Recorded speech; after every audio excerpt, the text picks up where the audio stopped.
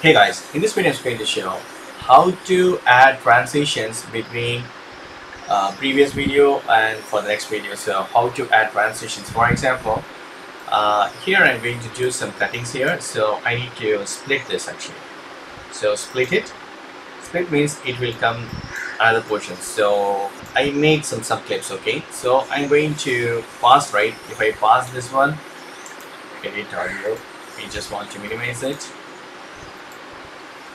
see? So if I want to cut some scenes right? So while we watch it is not smooth. So what I need to do is in your Camtasia right? Uh, you can see the sections here under transitions. Click on this transitions. And you can use fade. We'll try this. See how it is changed? I can use this um, fade through black. See this is fade through black so I can use fold. Yeah. I can decrease the volume. So I can use circle stretch. See this is circle stretch. I can geo flip.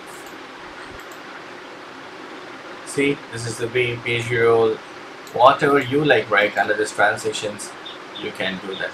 So you can replace all these transaction I mean um, transitions. So it will be nice adding value to your videos. So that's it. This is the way you can add transition uh, transitions in Camtasia. That's it. Thank you so much for watching. Please put a comments and feedbacks in my thank you. Bye